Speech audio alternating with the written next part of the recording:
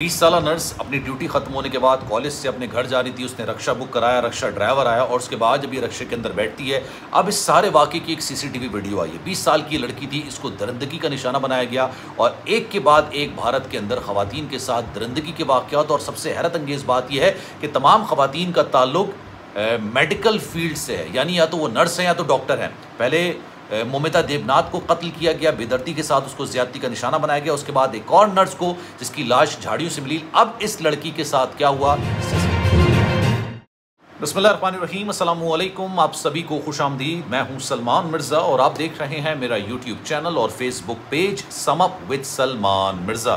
गुजरे वाला, ये वीडियो देखने के लिए आप सभी ने अपना कीमती वक्त निकाला है। मैं वीडियो के आगाज़ में तहे दिल से आप सभी का शुक्रिया अदा करता हूँ, लेकिन इस दुआ के साथ कि आप जहाँ हों, खैर वाफियत से हों, सेहतमंद हों और तंदुरुस्त हों। जनाब, लग ऐसा रहा है कि भारत के अंदर ख़वातीन के साथ ज़्यादती, उनको बेदर्दी के साथ कत्ल करने के वाक़ात हैं, थमने का नाम ही नहीं ले रहे हैं। और ये तमाम ख़वातीन जिनको बेदर्दी के साथ कत्ल किया जा रहा है, जिनको ज़्यादती का निशाना बनाया जा रहा है, ये या तो नर्सेज हैं या तो डॉक्टर हैं, यानी पैरामेडिक स्टाफ से इनका ताल्लुक है। एक और बड़ा अंधोनाक और खौफनाक किस्म का वाक़ हुआ है। अभी आरजी कार मेडिकल हॉस्पिटल के अंदर जिस तरह मोमिता देवनाथ को कत्ल किया गया, उनको दरंदगी का निशाना बनाया गया, उनको ज्यादती का निशाना बनाया गया, और उसके बाद एक और 20 साल नर्स को वो जिन डॉक्टर के अंडर काम कर रही थी, उनके सुपरविजन में काम कर रही थी, उसी डॉक्टर ने उनको ज़्यादा का निशाना बनाया और उसकी लाश को झाड़ियों के अंदर फेंक दिया। लेकिन अब एक और वाक्य रिपोर्ट हुआ है। महाराष्ट्र का ये इलाका है और यहाँ पर रत्नागिरी गालिबा, शायद ये किसी शहर का या एरिया का नाम है, वहाँ पर ये बड़ा अफसोसनाक किस्म का वाक़ हुआ है। बीस साल नर्स को रक्षे के अंदर ज़्यादती का निशाना बनाया गया, उसको पहले नशावर अद्वियात खिलाई गई, जिसकी वजह से वो बेहोशी की हालत में चली गई, और उसके बाद फिर एक क़्यामत खेज़ वाक़ उसके साथ किया गया। अब एक बार फिर से वो जो तहरीक चल रही थी ना डॉक्टर्स की, भारत के अंदर, कि जिस तरह से वो एहतजाज कर थे, डॉक्टर मोमिता देवनाथ के कत्ल के खिलाफ जो एहतजाज कर रहे थे, अब मजीद वाक़ात एक एक करके सामने आ रहे हैं। अब इस वाक़े की क्या डिटेल्स है आज ज़रा डिटेल इस पर बात करते हैं, लेकिन आगे बढ़ने से पहले आपसे गुजारिश है, अगर आपने चैनल सब्सक्राइब नहीं किया, सलमान मिर्ज़ा ऑफिशियल मेरे यूट्यूब चैनल को सब्सक्राइब ज़रूर कीजिएगा, बेल आइकन ज़रूर दबाइएगा। कोई बात अगर आप कहना चाहते हैं तो इंस्टाग्राम पर रबता कर सकते हैं Salman dot M R Z double A ये मेरा इंस्टाग्राम अकाउंट है, चाहें तो आप फॉलो कर लीजिए, जो मैसेज आप करेंगे, कोशिश मेरी यही होगी कि आपके मैसेज का रिप्लाई मैं ज़रूर करूँ। जनाब, हुआ ये कि बीस साल एक नर्स अपने कॉलेज से अपने घर जा रही थी। उसने अपना रिक्शा बुक करवाया रक्षा वाला आया, उसने इस बीस साल नर्स को अपने रक्षे के अंदर बिठाया। अब ये अपने कॉलेज से रत्नागिरी में अपने घर की तरफ़ जा रही थी कि मीन वाइल इस रक्षे वाले ने इसको पानी ऑफ़र किया। उसके पास पानी होगा। उसने पानी ऑफ़र किया कि पानी पी लीजिए, गर्मी बहुत ज़्यादा हो रही है। उस लड़की ने गलती ये की कि उसने पानी पी लिया। वो पानी बेसिकली आप समझ लें कि डायलूटेड किस्म का पानी था। उसके अंदर नशावर अद्वियात मिलाई गई थी। थोड़ी देर के बाद वो लड़की अपने होश वबास खो बैठी। बेहोशी की हालत में चली गई। अब उसने इस रक्षे को एक अंधेरे मकाम पे लेके गया जहाँ पर सुनसान होता है। दिन का टाइम था लेकिन सुनसान जगह पे लेके गया और वहाँ पर जाके इसने इस लड़की के साथ ज़्यादती की। दरंदगी का निशाना बनाया सोते की हालत में, यानी बेहोशी की हालत में। उसके बाद ये वहाँ पर इसको छोड़ता है और उसके बाद अपना रक्षा लेके वहाँ से फ़रार हो जाता है। इस सारे वाक़े के अंदर एक चीज़ जो अच्छी हुई है, वो अच्छी है कि जनाब उस लड़के ने, यानी जो ड्राइवर था, रक्षा ड्राइवर, उसने इस लड़की को बेदर्दी के साथ कत्ल नहीं किया, जिस तरह से पिछले दो वाक़ात में हुआ।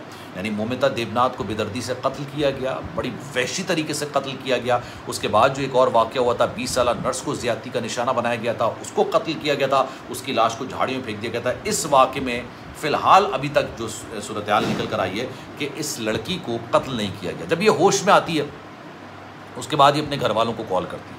घर वाले आते हैं घर वाले इसको मेडिकल के लिए अस्पताल लेके जाते हैं। वहाँ पता चलता है कि जनाब इसके साथ ना सिर्फ़ ज़्यादती की गई है, बल्कि इसके साथ बदफेली भी की गई है। आप समझते होंगे कि इन दोनों का फ़र्क एग्जैक्टली है। क्या मैं क्योंकि फैमिलीज़ मेरी वीडियो देखती हैं, माएँ, बहनें, सब मेरी वीडियोज़ देखती हैं। मैं इसको ज़्यादा डिस्क्राइब नहीं कर रहा डिटेल में जाके, लेकिन लड़कों के साथ बदफेली होती है, लड़कियों के साथ, अल्लाह माफ़ करे, ज़्यादती होती है, लेकिन कभी कभी लड़कियों के साथ भी बदफेली कर दी जाती है। तो आप समझ गए होंगे कि मैं आपको क्या समझाना चाह रहा हूँ। और उसके बाद फिर पूरी एफआईआर दर्ज कराती है। अब इसकी एक सीसीटीवी वीडियो है। इस सीसीटीवी वीडियो के अंदर देखा जा सकता है कि जनाब ये रक्षा जा रहा है और इसके अंदर इन खातून को, यानी 20 साल की लड़की को, जो कि नर्स है, पेशे के अतबार से नर्स है, इसको बैठा हुआ देखा जा सकता है। अभी यहाँ से गुजरते हैं। अब पुलिस जो है इस केस की सारी तहकीकात कर रही है। पता लगाने की कोशिश की जा रही है कि जनाब ये रक्षा ड्राइवर कौन था, कहाँ से आया था, इसकी पहचान क्या थी। लेकिन इस सीसीटीवी वीडियो के अंदर जो रक्षे का नंबर होता है, वो फ़िलहाल वाज तौर पर नहीं निकल कर आया। अब इस वाक़े के ख़िलाफ़ जो वो मूवमेंट चल रही थी, जो एहतजाज चल रहा था डॉक्टर्स का, जिसमें यह इंसाफ का तकाजा किया जा रहा था कि बताया जाए कि जनाब वो कौन कौन लोग थे जो कि मोमिता देवनाथ के कत्ल में मुलविस थे, क्योंकि उनके वालिद साहब का भी एक इंटरव्यू है।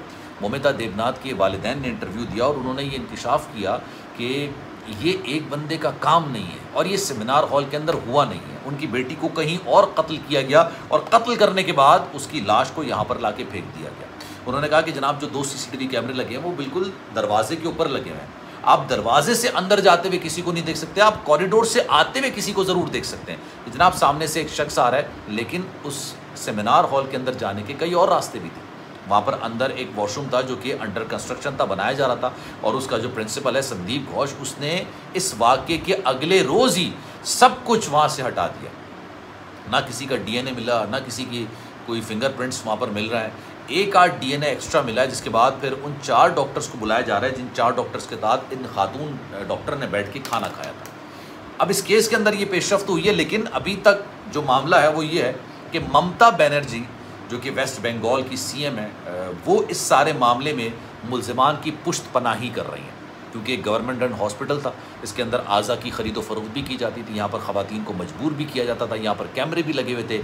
ये हॉस्पिटल नहीं था ये जराइम का अड्डा था ये कह सकते हैं।